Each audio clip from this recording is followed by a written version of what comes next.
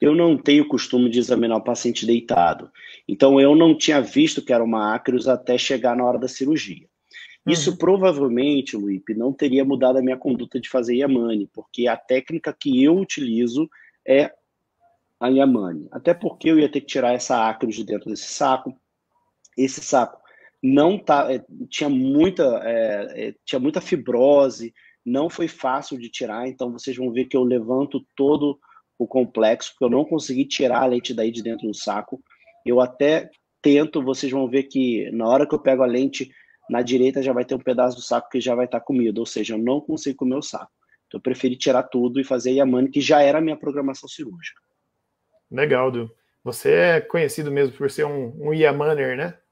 O famoso Yamaner. É,